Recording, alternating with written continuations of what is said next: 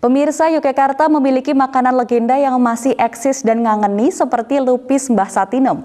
Jajanan pasar tersebut sudah ada sejak tahun 1963 dan tidak pernah sepi pembeli karena rasanya nikmat. Berlibur ke kota Yogyakarta, tak ada salahnya untuk mencicipi kuliner jajan pasar legendaris satu ini, yakni jajanan pasar tradisional lupis Mbah Satinem. Ini sangat cocok untuk dinikmati saat pagi hari.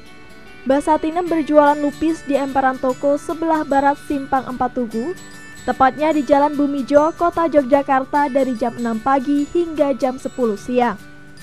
Meski hanya di emperan toko, jajanan lupis Mbak Satinem tak pernah sepi akan pembeli. Saking banyaknya, pembeli harus mengambil nomor antrian terlebih dahulu.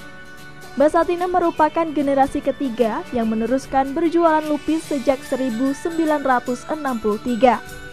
Tidak heran resep olahan lupis yang didapat secara turun-menurun tetap konsisten dilestarikan. Cita rasa lupis bikinannya manis legit sehingga memikat di lidah para pelanggan.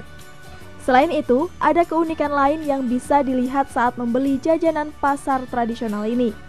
Yakni ketika Mbak Satina memotong lupis menjadi beberapa bagian, bukannya menggunakan pisau melainkan benang yang dikaitkan di jari telunjuk.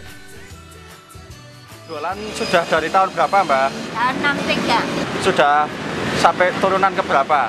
Tiga. Turunan ketiga. Jualan dari jam berapa sampai jam berapa Mbak? Hah? Jam setengah enam. Kadang ya paling telat jam sepuluh.